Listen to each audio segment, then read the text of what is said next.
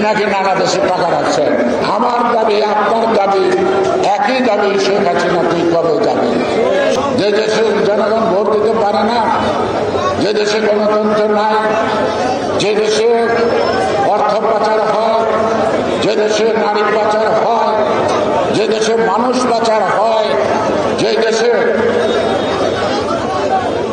দিনের পর রাতে হয় যে দেশে এই ধরনের গণতন্ত্র বিরোধী কর্মকাণ্ড হয়।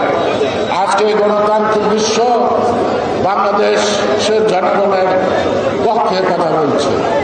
কিন্তু বলে নাই তারা বিএনপিকে ক্ষমতায় নিয়ে আসবে তারা বলে না তারা হাসিনাকে দেখতে চায় না, তারা দেখতে চায় সুষ্ঠ অবাধ নির্বাচন। আর সুষ্ঠ অবাধ নির্বাচনের বড় বাধাকে শেখ হাসিনা নিজে সেই কারণেই তাকে পদত্যাগ করতে হবে আমার দাবি আপনার দাবি দাবি শেখ হাসিনা তুই কবে যাবে? হরতাল হরতাল আপনারা দিতে চান। এই সরকারের বিরুদ্ধে দিতে চান। হরতালে নামলে তাদের সাথে মুখোমুখি হবে। পুলিশের সাথে মুখোমুখি হবে। তাদের সাথে মুখোমুখি করতে রাজি আছেন? তাদের আছেন? সুতরাং আমরা অনেকদিন হরতাল করি নাই হরতাল এটা একটি সাংবিধানিক অধিকার অর্থাৎ হরতাল গণতান্ত্রিক অধিকার আমরা করি নাই ধর্মঘট আমরা অনেকদিন হরতাল করি নাই। আমরা এখনও অবরোধ দেই নাই। আমরা শেখ হাসিনার মতো পথচারীর কাপড় খুলে বিভস্ত করি নাই। আমরা শেখ হাসিনার মতো আগুন দিয়ে বাদ দিয়ে মানুষ পড়াই নাই। আমরা শেখ হাসিনার মতো লক্ষ্মী বৈঠা দিয়ে মানুষ মারি না আর মৃত লাশের উপরে আমরা নৃত্য করি নাই আমরা নাচ নাচানাচি করি না শেখ হাসিনা, এই যে মালিকানা মনে করে প্রত্যেক শিক্ষা তিনি মালিক হয়েছেন।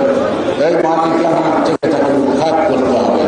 দেশের মালিক জনগণ, এই কথাটা তাকে শিক্ষা দিতে হবে, আমরা ক্ষমতার জন্য লড়াই করছি না। আমরা জনগণের ক্ষমতার জন্য লড়াই করছি। আমরা ভোটের অধিকারের জন্য লড়াই করছি। আবার স্বাধীনতার জন্য লড়াই করছি। আমি আমার গণতন্ত্রের জন্য লড়াই করছি।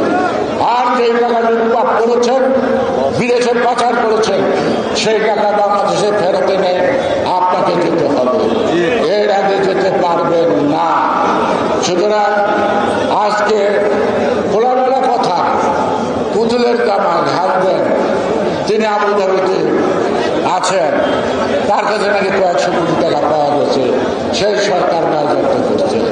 তার ছেলে জয় হ্যাঁ তার কথা শোনা যায় তিনি নাকি নানা দেশে টাকা রাখছেন এখন এই টাকা যায় যায় যায় যায় কেমনি টাকা রক্ষা করব কেমনি ছেলেদের কোন দিলে নিরাপদে থাকব, এইটা নিয়ে সে ব্যস্ত। সুতরাং দেশের মালিকানা, দেশের হাতে ফেরত দেন সুস্থ নির্বাচনের স্বার্থে পদত্যাগ করেন পার্লামেন্ট বাতিল করেন নিরপেক্ষ সরকার করেন এবং নিরপেক্ষ নির্বাচন কমিশন করে আপনি ভোটে আসেন আসতে হবে তাহলে আপনি নিরাপদ। দেশের নিরাপদ বিদেশের নিরাপদ। যদি ভোট নিয়ে ছিনিয়ে